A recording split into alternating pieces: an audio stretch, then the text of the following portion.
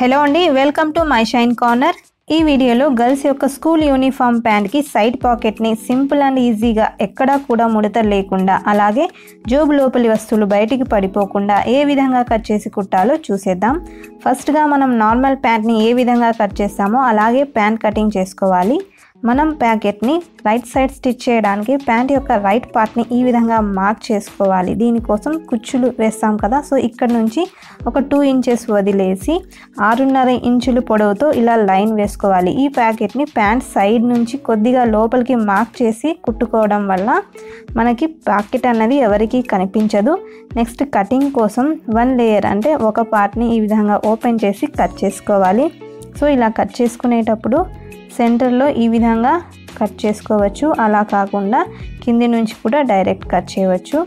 ఇది మనం line length అన్నది వాళ్ళ చేతిని బట్టి చూ- తీసుకుంటాము.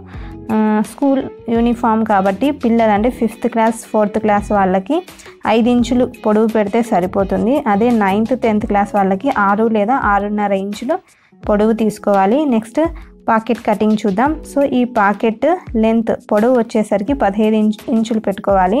పదిహేడు ఇంచుల్లో పదహైదు ఇంచుల దగ్గర ఇలా మార్క్ చేసుకోవాలి. నెక్స్ట్ ఇక్కడ ఆరున్నర ఇంచులతో ఒక లైన్ వేసుకోవాలి. ఆరున్నర ఇంచులు ఎందుకంటే ఇక్కడ మనం ఆరున్నర పెట్టుకున్నాం కదా సో ఇక్కడ కూడా సేమ్ ఆరున్నర ఇంచులు పెట్టుకొని మార్క్ చేసుకుంటాము. నెక్స్ట్ పాకెట్ లెంత్ పదహైదు ఉంది అలాగే వెడల్పు ఏడించులు ఉంది సో ఇలా ఈ షేప్లో కట్ చేసుకోవాలి. ఇలా షేప్లో కట్ చేసుకున్న తర్వాత మనం ఇది టూ లేయర్తో తీసుకున్నాం కాబట్టి ఇలా ఓపెన్ చేసుకొని ఇలా ఇక్కడ మార్క్ చేసుకోవాలి. మనం ముందు ఎక్కడైతే మార్క్ చేసామో ఇలా స్ట్రైట్ లైన్ మార్క్ చేసుకొని డైరెక్ట్గా కింద కట్ వేసి ఇలా సిజర్స్తో కట్ చేసుకుంటే మనకి పాకెట్ కటింగ్ రెడీ అయినట్టే. నెక్స్ట్ దీన్ని మనం స్టిచ్ చేయడానికి ఈ విధంగా కార్నర్స్ సైడ్స్ అంతా ఒక రెండు కుట్లు వేసుకోవాలి. చూడండి ఈ విధంగా కుట్టుకున్న తర్వాత ఈ పాకెట్ని మనం ఇలా తిరిగేసుకోవాలి. అప్పుడు మనం కుట్టిన కుట్లు అన్నవి లోపలికి వెళ్ళిపోతాయి. సో పాకెట్ అయితే రెడీ అయిపోయింది. దీన్ని ఫ్యాంట్కి ఎలా అటాచ్ చేయాలో చూసేద్దాం.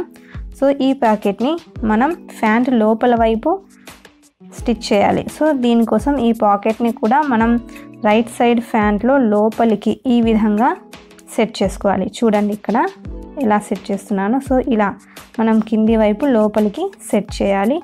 సో ఇలా సెట్ చేసుకున్న తర్వాత మనం స్టిచ్ చేసినప్పుడు ఖర్చు కనిపించకూడదు కాబట్టి ప్యాంట్ యొక్క ఒక సైడ్ అంటే ఒక లేయర్ అలాగే మనం పాకెట్ కటింగ్ చేసుకున్నాం కదా దాని ఇంకొక లేయర్ని ఈ విధంగా పెట్టుకొని ఇక్కడ మనం ఒక రెండు కుట్లు వేసుకోవాలి.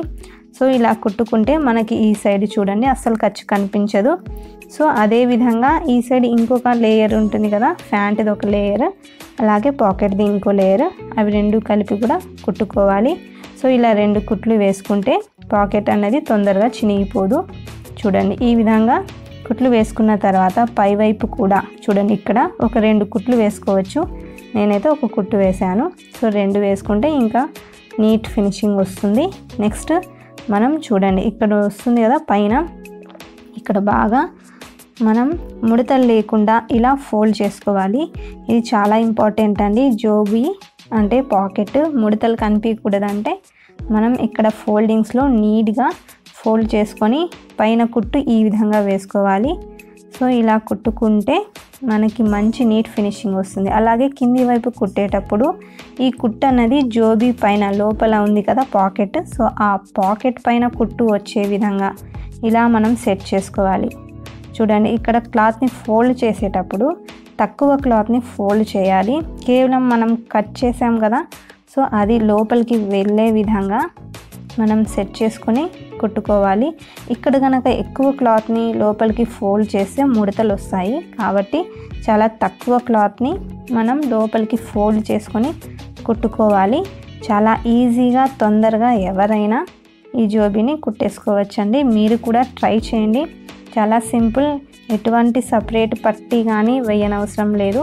డైరెక్ట్గా జోబీని అటాచ్ చేయొచ్చు. ఇలా జోబీ లెంత్ పదహైదు ఇంచులు తీసుకోవడం వల్ల జోబీలో ఏవైనా వస్తువులు అంటే పాకెట్లో ఉన్న వస్తువులు బయటికి పడిపోవన్నమాట.